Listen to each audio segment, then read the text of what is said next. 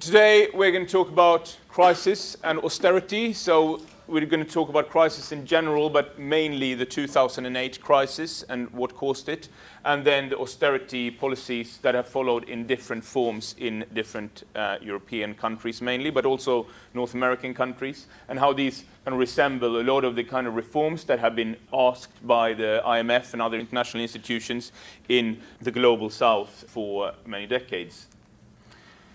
Now, first of all, what is a crisis? What makes something an economic crisis? We have a recession, right? So that instead of having growth in the economy, we have negative growth. So GDP, the gross domestic product, goes down rather than up. GDP being what is made uh, in, in the economy uh, in, in one year. We have many crises are financial crises, right? So they come from the financial system. That was certainly the case with the 1997 Asian crisis, and the, it was the case in the Argentinian crisis uh, in 2000, and uh, it certainly was the case with the 2008 crisis. All crises are caused by kind of boom and bust, so this goes back to uh, the first crisis, capitalist crisis, which was in tulips in the Netherlands in the 17th century, uh, which was uh, basically there was a boom in the price of tulips. So lots of people got into wanting to sell tulips, and then the prices crashed, and uh, there was a big, uh, big crisis. So something becomes very profitable, so lots of people get into it, uh, to selling it, and then that deflates the price, so that causes a bust.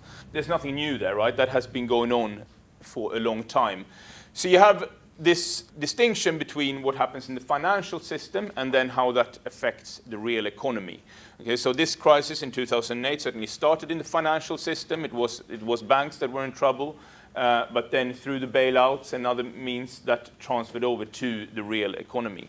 And that's when it results in unemployment and poverty and, and so on. So those things didn't happen straight away in 2008, but they have happened uh, in, in the aftermath. So then there is a question of whether crises are unavoidable in capitalism. So up until 2008, there were certainly a lot of people that thought that the period of big, large crisis was over, right? It wasn't. A way that economists often look at crisis is they think about it linked to the impossible trinity. So a lot of crises historically have been caused by countries seeking to do all three at once. So if we think of the period um, after the Second World War, before this kind of changes in the, in the 70s, um, we had fixed exchange rates between countries, like so. Uh, the dollar was pegged to gold, and uh, all the other currencies around the world were pegged to the dollar. Um, we had independent monetary policy, so central banks, well, or countries could have their own in independent monetary policy. We did not have free movement of capital. Okay, so we had capital controls in place there was more and more capital being moved as part of globalization uh, that, um, that we've talked about in previous weeks. So as part of, part of that, we have more, move, uh, more movement of capital that states struggle to keep control of. Then that was a big cause of the crisis in the, in, in the 70s, right? So that then the, the way out of that was to leave the fixed exchange rate, right? It basically broke the exchange rate. So each country have their own kind of history of, of, of a crisis there. Then the, what became the norm was to have free movement of capital and to have independent monetary policy, but not to have fixed exchange rates, right? to have floating exchange rates. If we think about uh, the, what happens inside the European Union, or rather inside the European Monetary Union, so in the euro area, uh, we have obviously fixed exchange rates uh, in a way, and uh, we have um, free movement of capital, but countries in the euro area do not have independent monetary policy, right? And that has been a problem for countries like Greece, Spain, Italy, Ireland, that would have, had they had the chance, would have done, uh, led a different in monetary policy than what the European Central Bank has done uh, in, the, in the crisis. So then if we think about what actually caused the global financial crisis in 2008, Susan Strange, a very good British political economist, wrote a book in 1986 already where she warned about casino capitalism and what it was doing. A very good film that explains the casino capitalism that took place in the lead up to the 2008 crisis is The Big Short. You should watch it. So, mortgage-backed securities which were the kind of cause of the financial crisis, are basically you get a bunch of mortgages, right? Home ownership is increasing fast in the US, in Spain, in, uh, in Britain. Uh, in Spain, you had 85% uh, of households were ne nearly were homeowners. In Britain, 70%. Um, so all these mortgages that, uh, that people are taking out, they are bundled up together. So you have a whole bunch of good mortgages here, good customers. And then the longer the, um, this boom goes on, the more lending banks wants to do, right? So we, it's important if you're going to have a rising housing market that you get um, uh, that, that you get more and more people joining the housing market, right? Home ownership is something that is good to promote. But what that means, because at the same time as having uh, expanding housing market, so more and more people, households uh, becoming homeowners, you also have less job security, right? So, you know, you have uh, the job security in general has been going down. So what that means is that you get people who want to buy properties who, and who the bank, who the system kind of needs, in order to expand, the system needs them to buy properties, right? But they are, the, the, the, they are becoming more and more precarious, okay? So they're in more and more precarious situations. So that means that in these products of mortgage-backed securities, you also have some subprime mortgages, right? Now, this becomes a bundle that is traded on financial market, and that's what they talk about. But although the immediate lender that lends the money knows about these risks, right, and these customers obviously pay um, a higher premium because uh, they are seen as bigger risks, when this is traded on financial markets, the people or the investors trading in it do not know uh, exactly what's in here, right? So then, and then that then they, they trade on the risk of these being defaulted. So basically, you have these mortgage-backed securities then that becomes doing business on the risk when these are traded on financial markets, but at the same time hiding the risk. This is supported by risky, risk, riskier lending to more and more precarious borrowers. Uh, so if this is the problem that causes the crisis, and if you think that, you know, that it's the lending, irresponsible lending to uh, to households that really should not be borrowing that kind of money. So if you think that these kinds of things are the problem that, uh, that has gone uh, wrong, then what we need to do is to regulate the financial markets. So where there has been a lot of deregulation, what we need to do is to re-regulate. And that is you know, largely what, what happened. That was Obama's response to it. That was the response of G20, was to um, increase that re regulation. Much of that regulation has then been removed by Donald Trump's uh, administration in, in the US. But there are other sort of deeper reasons that you can see for why the crisis took place. And one of the big uh, ones that have, have gained a lot of traction in recent uh, years is that actually inequality was a very big cause in itself of, of the crisis. And that's not least thanks to Thomas Piketty, uh, which wrote this book, uh, who wrote this book, uh, Capital in the 21st Century, where he, he looks at a number of countries, at lots of in-depth data, basically showing that inequalities have grown globally. Okay? This is not a problem in the US or in just in the US or, or in Europe, but it's true in China, uh, it's true in Japan, it's true uh, in a lot of uh, big uh, economies around the world. Okay, so what he then says is that inequality in a capitalist system, inequality is self-reinforcing. Okay, why is it self-reinforcing? Because it makes more sense if you have a lot of money and you have a very unequal society, then if inequality means that there's a lot of poor people that don't really have much buying power, much purchasing power, then it doesn't make sense, as much sense to make, to invest your money in things in producing things that they could buy because they can't, right? Because there is not that what's called demand there in the economy. So it makes more sense for, if you have a lot of spare cash hanging around, to invest it in um, rentier, profit-seeking, uh, so rent-seeking activities, so land, uh, housing, or uh, speculative investments of, uh, of, of, different kinds, uh, whatever they may be. Um, and what he also says is that capitalism naturally has tended towards rentierism. So we have this trend towards global inequalities that has always been part of capitalism, with the one exception being in the post-World War II period. So Piketty comes to the conclusion that actually the only, you know, the only thing that has ever, ever reversed this was war. Okay, so that is uh, his uh, rather dire uh, assessment of uh, what would uh, need to happen. On the reading list is uh, Stockhammer, Engelbrekt Stockhammer, who uh, also argues that inequality, uh, he very explicitly says that inequality caused the global financial crisis. Um, and he says that there are four uh, ways in which that happens. Right, so uh, first, drawing on, on the same kind of thinking that Piketty uh, says is that it causes inequality decreases the demand in the economy. Okay, so there is less people able to buy stuff, so there's less demand in the, in the economy. And the people, what happens in inequality, because it's not as many people that get rich as people that get poor, but you have fewer people being rich and more people being poorer, right?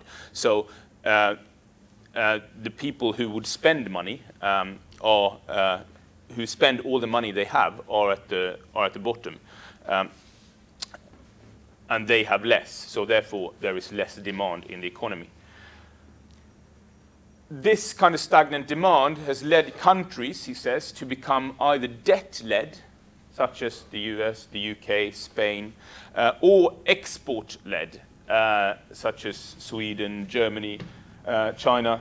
So countries have come to specialize in either um, and this a kind of path dependency or being having their economies driven by debt or having their economies driven by export.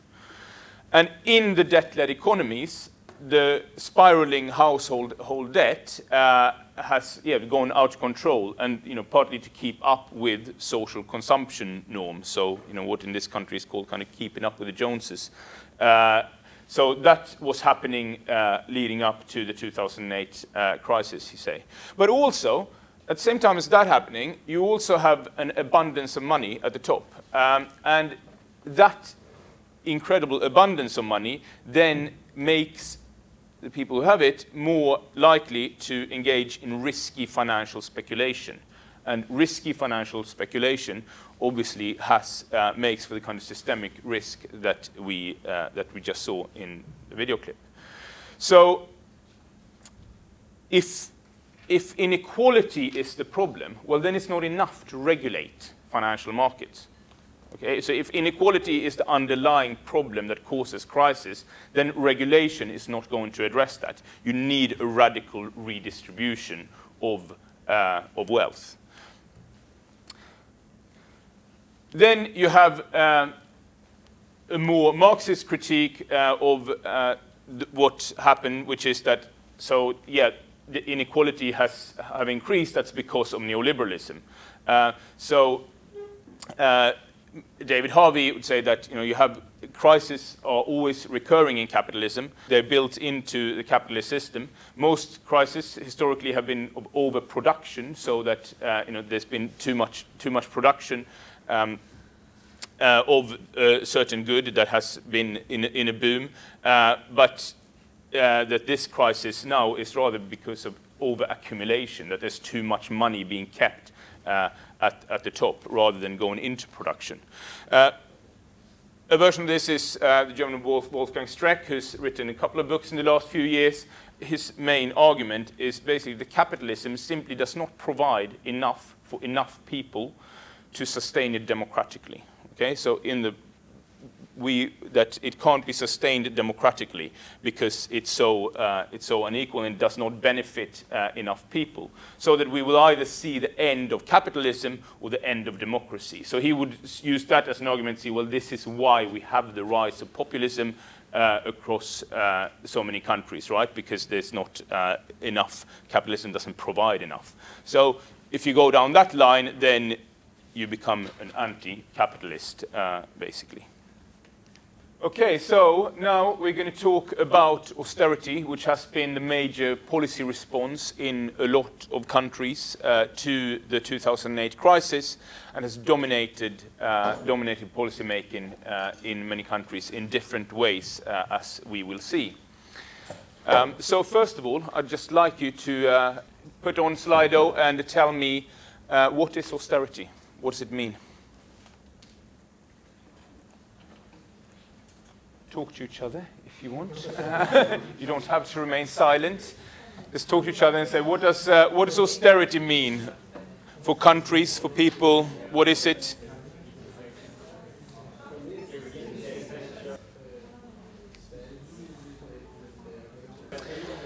Yeah, so uh, got a lot of good answers here to what, what austerity is. So yeah, it's about reducing the fiscal deficit, right? So the difference between uh, the government expenditure and uh, the income uh, in, in, in, any given year or time period.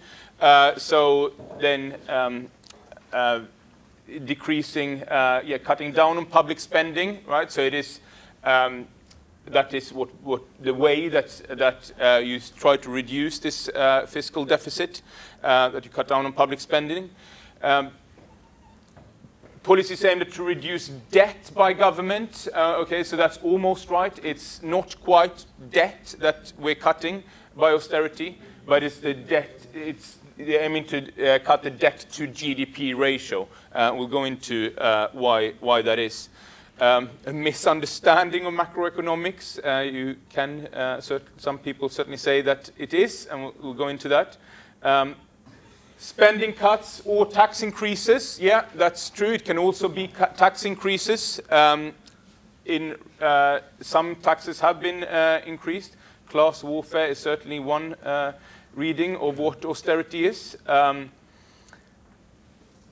fundamentally flawed uh, that is uh, the dominating, in macroeconomics certainly, and political economy, the dominating reading of what austerity is.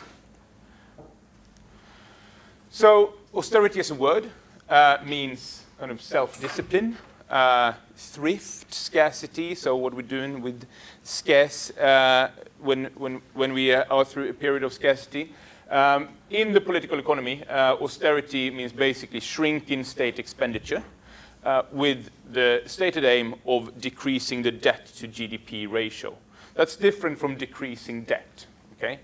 The debt, nobody really realistically thinks that we can decrease the amount of pounds or dollars that a country uh, uh owes. Okay, so but the debt to GDP ratio uh, is what, what we're trying to uh, decrease. So that um, is a percentage. So before the crisis, a lot of countries had GDP ratio, uh, debt to GDP ratios of about 50%, and then they were kind of bumped up to about 90%, uh, and uh, some of them have gone uh, a lot higher than that uh, since then.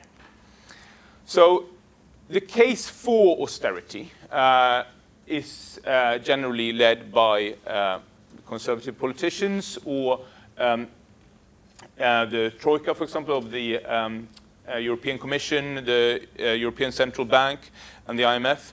Um, although IMF has got a lot of people in there that do, are not too keen on austerity uh, anymore. Um, this is the kind of political case for austerity by one of the most colorful British politicians. Ici, Londres. Suppose that I were funding an extravagant lifestyle on credit.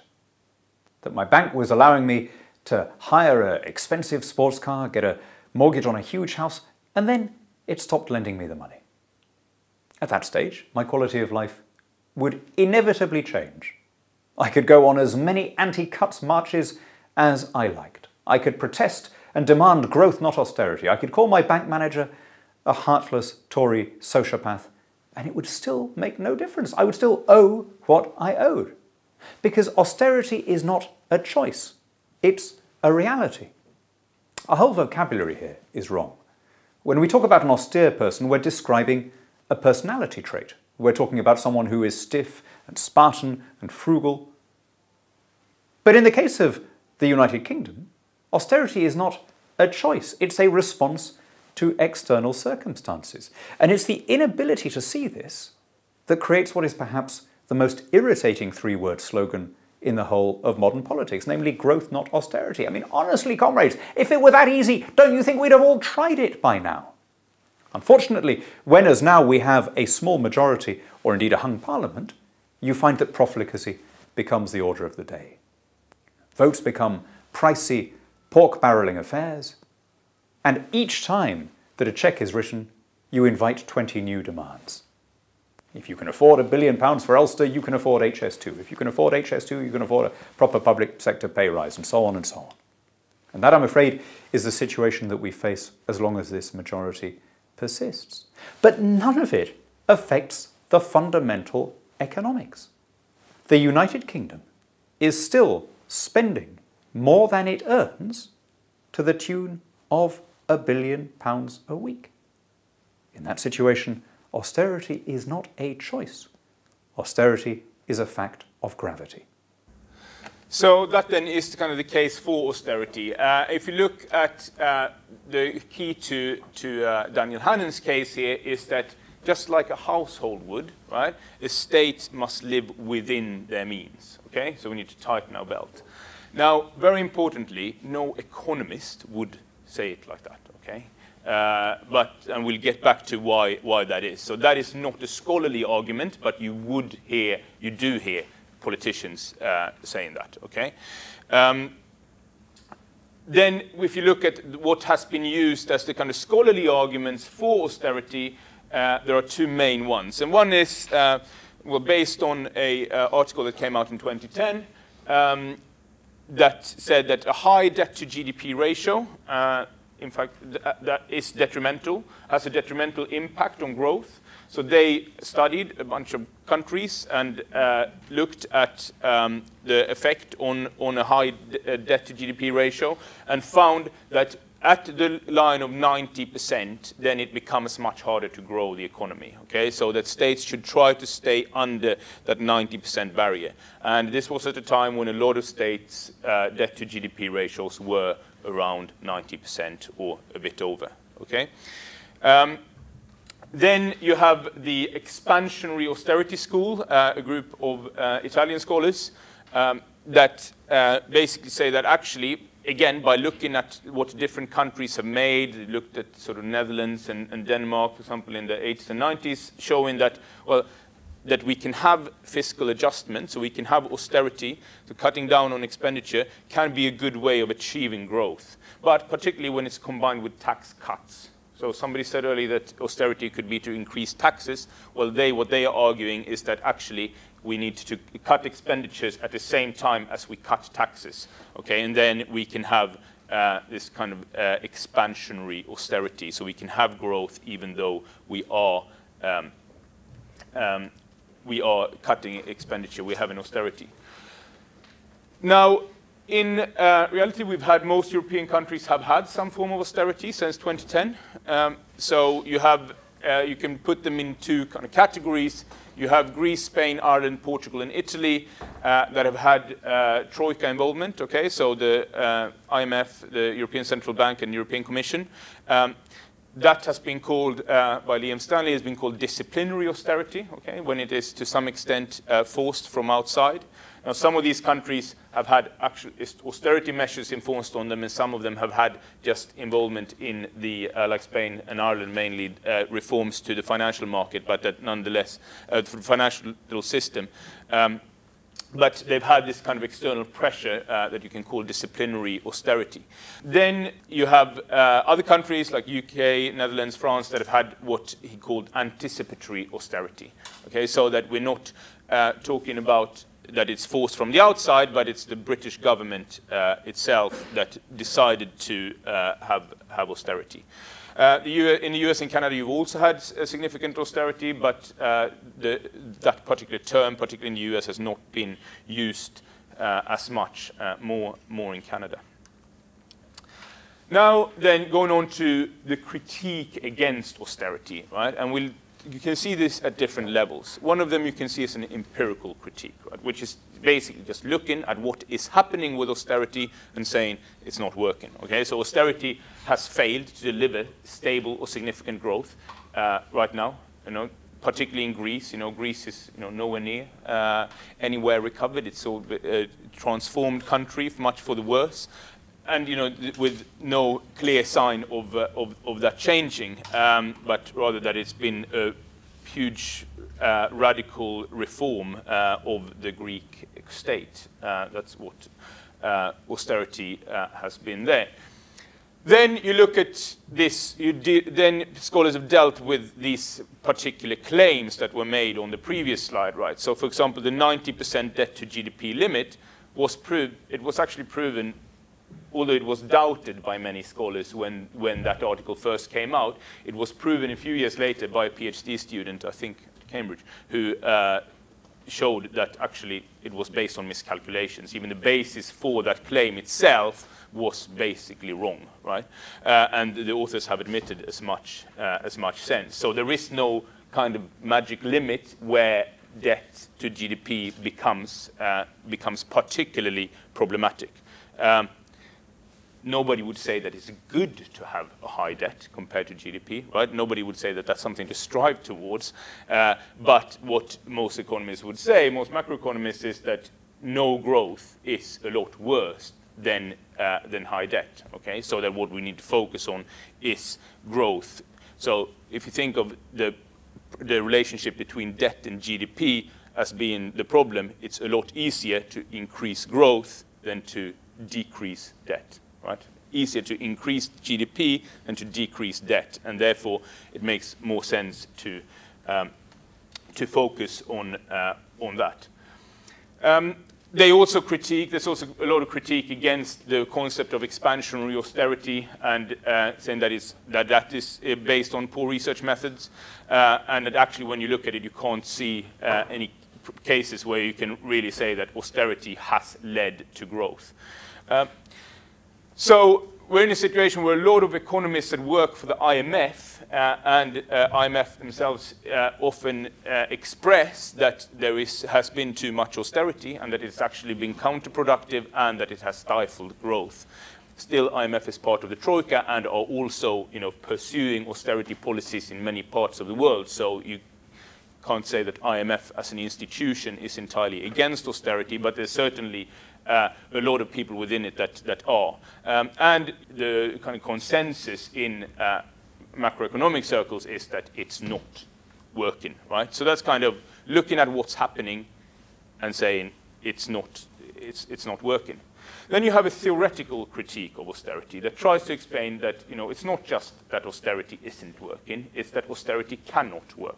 Okay? So those claims are kind of different. One is just looking and saying it's not working. The other is saying, well, it's not working because it can't work. Um, and they largely are largely based on, on Keynes and Keynesianism. You have some of the sort of key authors uh, here that have, uh, have written about uh, austerity. So um, he says that comparing households uh, to states is a fallacy of composition. Okay, so the states and households do not have the same role in the economy. Okay? Households can't make money to start with. The state can make money. Okay? Uh, uh, and um, in, in a state, uh, everything that, you know, money goes around in a state. Right? In, a, in a household, once you've spent it, you've spent it. But in a GDP, the same pound coin can, is counted several times, right, uh, in, in a year. Uh, but um, uh, so it's, you can't really compare uh, those two things. So austerity is not working uh, because it can't, because it misunderstands the role of the state as an engine in the economy, uh, which is what Mark Blyth says. And that is because it doesn't understand the multiplier effect. So in a national economy, I'm the state, I decide that teachers are going to get a pay rise. Now, because teachers don't make a huge amount of money, they tend to spend all the money that they have, right? So I'm paying you as a teacher uh, money, you then go out and spend that money, so that's already that money has been spent twice, right? Same money been spent twice. And then that enables Patrick here to go and uh, have some home improvements. So he uh, builds, uh, gets a builder in to uh, build something uh, in his house, and uh, that then gives another, so that money goes around another time and so on. At some point, the money leaves the economy, right? And it depends on the economy of a country how, um, how strong the multiplier effect is. Okay, so in obviously, if you then go and buy something of Amazon with that money, then probably it leaves the system or something, right? So um, at, at, some point it finishes, but there is a multiplier effect there. That means that once one pound that the state spends becomes more than one pound in the economy. So what, uh, what Keynes said and what Keynesians say is that the time for austerity, so to cut time, state spending, is, is the boom when things are going well, not the bust. Because when we have a crisis, when we need growth, that's what we need is to, for, the, for the state to spend more money and to take on more debt. Um, then they also say that so we can think of a lot of, uh, when we talk about inequality being, being a problem, that is what a lot of Keynesians uh, would say. Uh, so that, that inequality was a large thing that caused the crisis. So austerity worsens inequalities, right? It deepens inequalities, and therefore it's basically does exactly, exactly the wrong thing. Austerity. It's big in Europe. It's getting big here. Everyone in the Prime Minister has been talking about it. But what is it? It's the common sense on how to pay for the massive increase in public debt caused by the financial crisis, mostly through the slashing of government services. First you take on debt, then you pay it off. Sounds simple, right? Unfortunately, it's never that simple because austerity confuses virtue with vice. Let me explain why.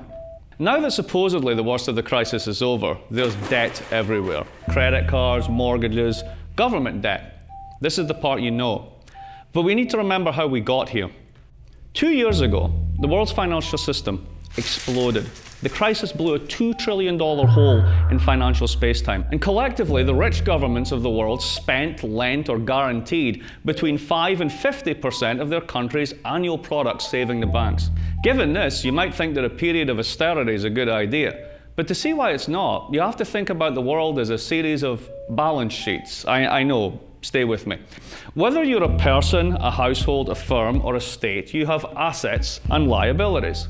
A balance sheet.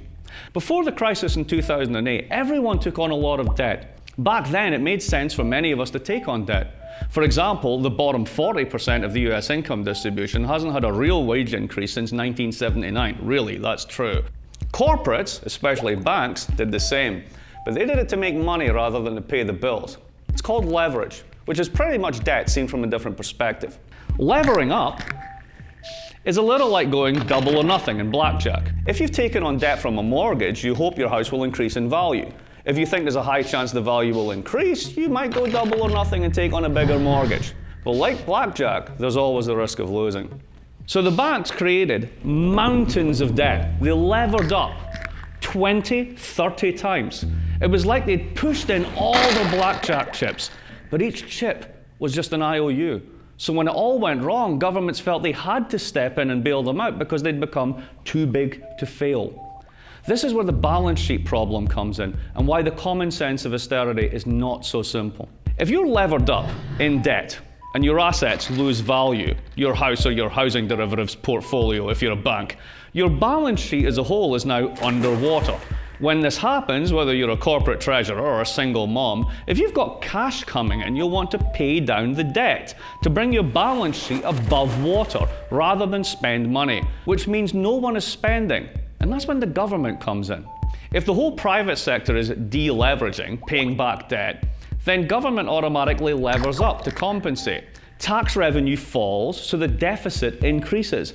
Unemployment benefits kick in, and public consumption takes the place of private consumption. Now, make no mistake, the problem is debt. There is too much of it across the board, and we need to clean those public and those private balance sheets.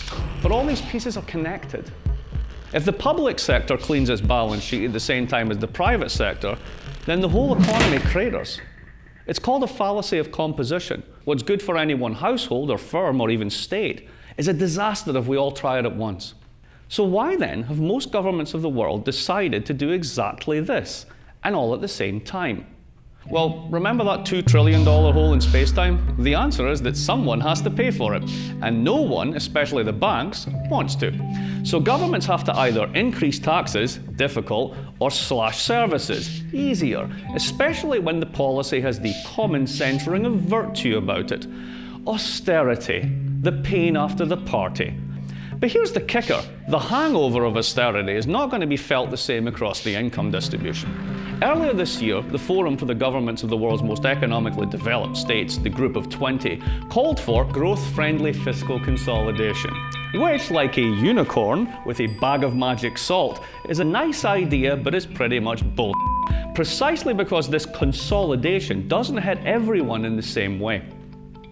Remember those folks in the bottom 40% of the income distribution that didn't really benefit from the financial boom? All they got was debt and the illusion of prosperity?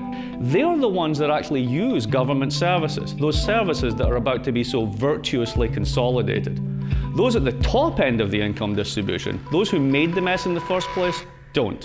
So, where does this common sense virtue of austerity leave us? It leaves us in a cycle where those at the bottom end of the income distribution pay for those at the top with the same stagnant and skewed incomes that now buy less in a more unequal and unstable economy. There's a term for this class politics, and it usually ends badly. This common sense of austerity, of reducing public debt all at once through slashing services, involves a question of equity who pays and who doesn't. Those who made this mess won't, while those who already paid for it through the bailouts will pay again through austerity. This is why austerity is not common sense. It's a nonsense, and a dangerous one at that.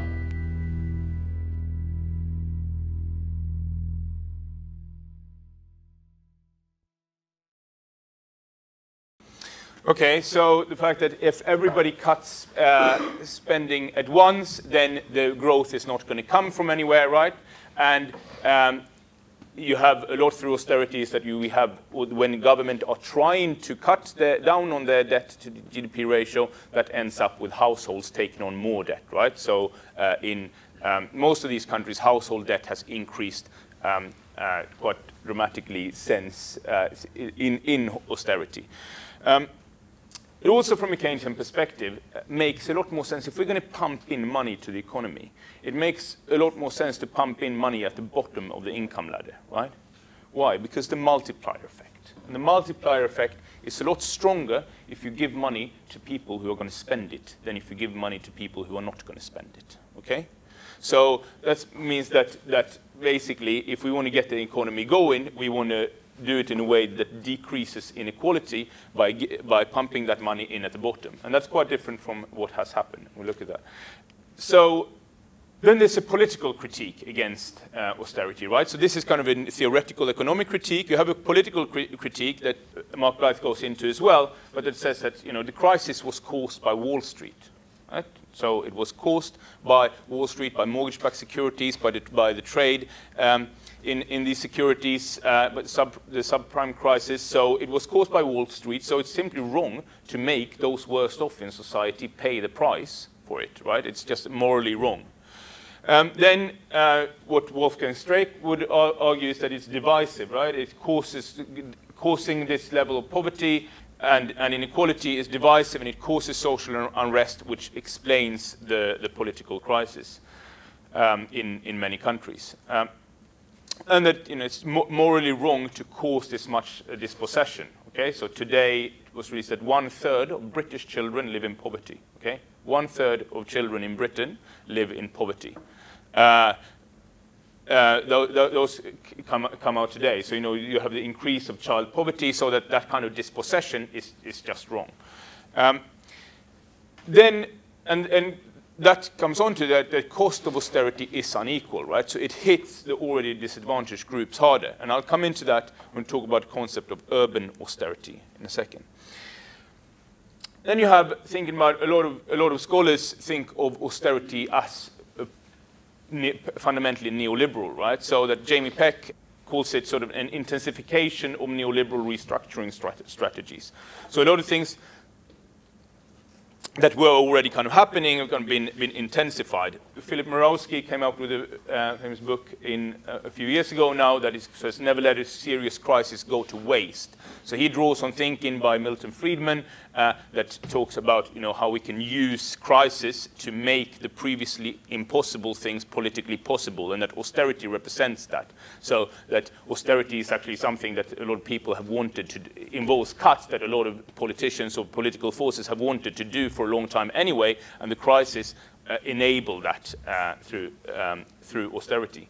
So in that sense, they would ask, you know, is austerity actually meant to solve the crisis, which you know, it isn't doing, or is it rather used in order to kind of restructure the state, re-aim, change the way that this, the state uh, works? And in that sense, is austerity meant to create growth, which you know, it isn't, or is it meant to protect the profits? The crisis happened because the state bailed out the banks, right? So that's how the GDP, debt to GDP ratio uh, increased by so, so much in, uh, in such a short space of time was uh, because the banks were bailed out, right? So uh, the profits of the financial sectors were kind of uh, were protected. So is that uh, what uh, what austerity is, aims towards?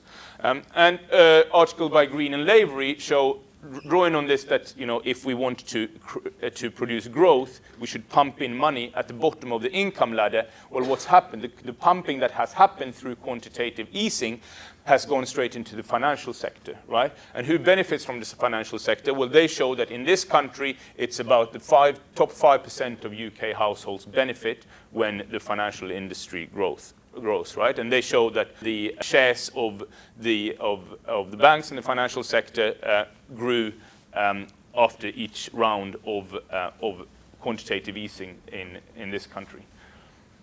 Then Jamie Peck develops uh, an idea of austerity urbanism, where it basically says that it's in cities where austerity is felt more than anywhere else. So it's here that we have the housing slump, right? So the, the so crash in housing prices and evictions uh, uh, that, that follow from that. We also have that in, in, it is in cities where people are more reliant on public services. Okay? He also says that cities are home to many of preferred political targets.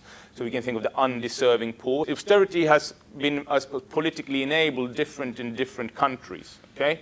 So in Spain, for example, it was just like saying, we've got to do this. It's not that we want to do this. We just have to have to do these cuts because uh, we are forced to by outside forces, right?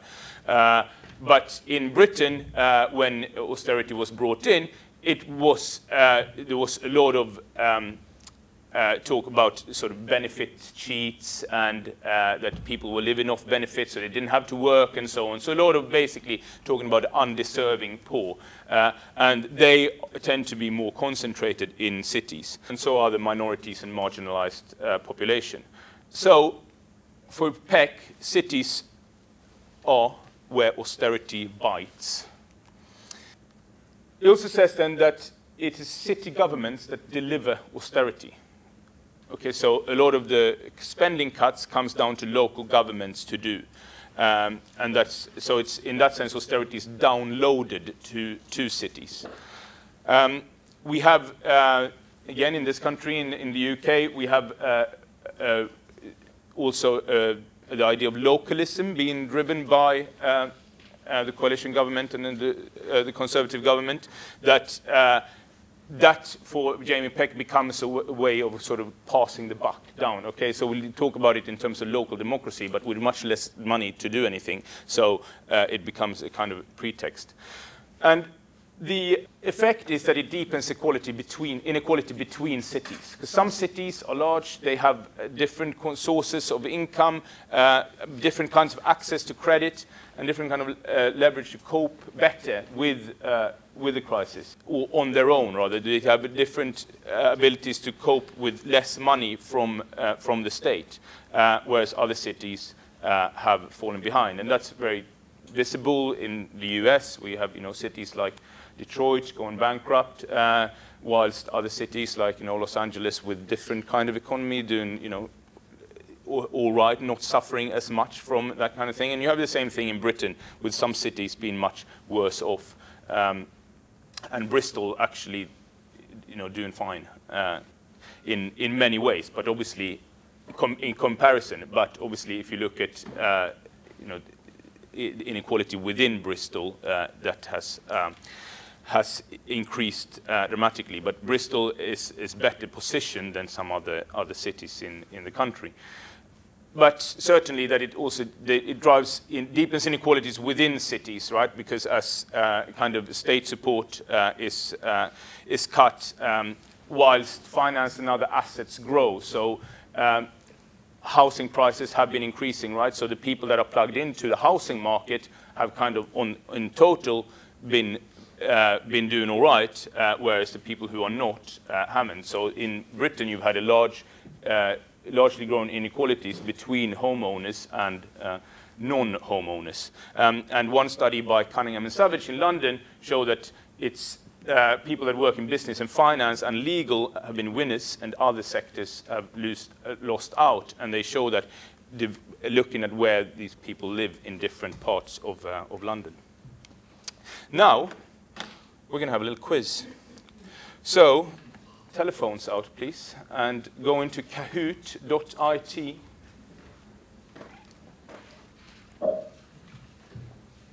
And you should be able to enter this code.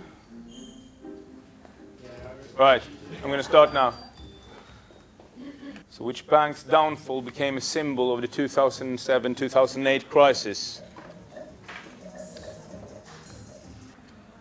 Yes, most of you got it right. It was Lehman Brothers. Which country has the lowest home ownership rate in the EU? Tricky question, right? Okay, we think of Germany as a rich country, we think of homeowners as rich, but Germans has the lowest rate of home ownership in the EU. They are an export-led economy. If you have a high rate of home, ownership, there's more debt in the economy, and uh, so, so you have much more consumer debt. Uh, that's not the way that Germany wants to go down. Uh, so they are, uh, yeah, about 40% uh, home ownership rate in Germany. The highest home ownership in the EU is Romania. Sweden, sorry, UK's got about had 70, about 70%, but that has been going down since the crisis, probably closer to 60 now, something. But yeah, Germany has the lowest home ownership rate, and that is connected to the way that the economy works. It's part of it. Jack, where's Jack? Well done, Jack. Try to keep it up. How much do Chinese households save as a percentage of disposable income? These are the stock images offered by the app, so. right? A lot basically, Chinese households save a lot. 35% of disposable income goes into savings. How much do British households save as a percentage of disposable income?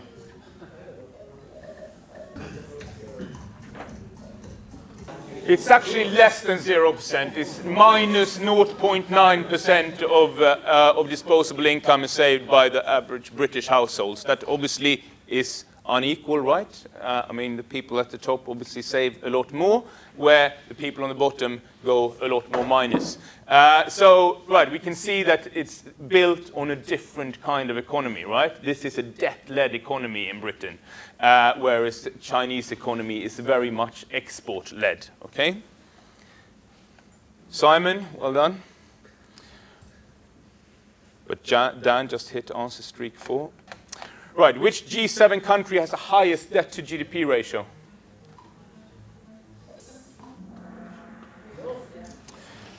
Right, tricky one. Obviously, Japan by about a mile. It's like 250% of GDP or something like that. It's uh, sky high. Uh, it's been going up and up and up since the uh, Asian crisis in, in 1997. Um, Italy is, is, also very high. And the USA and you, all of all of these countries have high debt to GDP ratios. Yeah. Is, is Japan export or? Uh, I'm no expert on the Japanese uh, economy, but I think that it's an ex no, it's an export-led economy. If we would look at, for example, the amount of household savings that Japan uh, has too, it would uh, they would look also save a lot per household, not as much as um, as the Chinese. Uh, but no, it's it is more of an export-led economy. So, uh, but yeah, it's basically. But at the same time, the industry has been in trouble since. You know, the crisis in 97 and has never recovered. Um, so they are basically staying in, with, in a high, high debt to GDP uh, situation. So more than double the rate of, of the UK. What percentage of Greek youths are unemployed?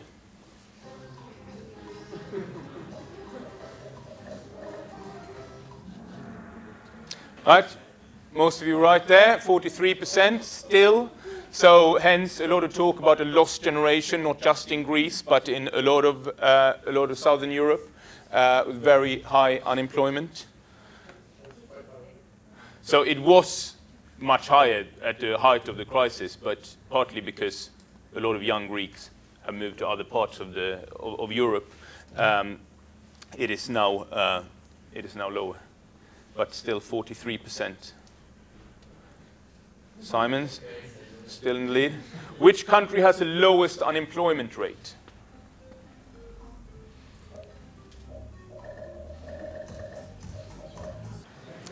Right? Not many of you got that right. UK has a very low unemployment rate. You wouldn't think it, but UK has a lot of underemployment, right? So people are not working as much as they want. People are, you have a lot of in-work poverty in the UK, uh, which you wouldn't have in Sweden.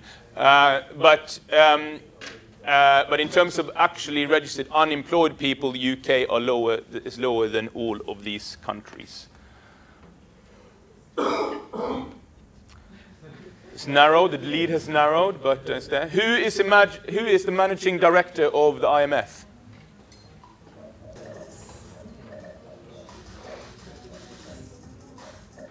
It is indeed Christine Lagarde, at the recent uh, international summit, there was a good picture of all the world leaders, and it was Theresa May and Christine Lagarde were, I think, the, and Angela Merkel were the only women uh, in there. Uh, so, um, yeah, Christine Lagarde has been for a few years now. Right, who wrote Austerity, the history of a dangerous idea? Have you paid attention, basically?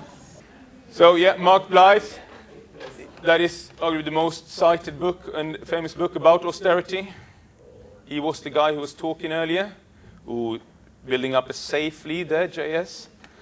Right, who is not part of the Troika?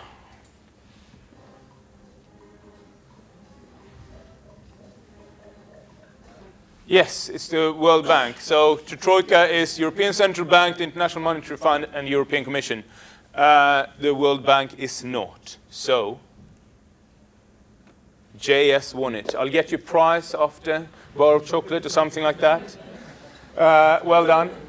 Right, that is all for today. I'm more than happy to take questions uh, outside or uh, Thank you.